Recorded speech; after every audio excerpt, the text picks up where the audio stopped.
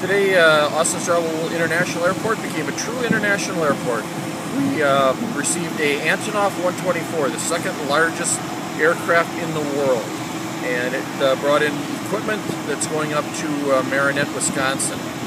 We uh, had a crew of 23 uh, crew members on the aircraft, and a lot of ground support helping unload all the equipment.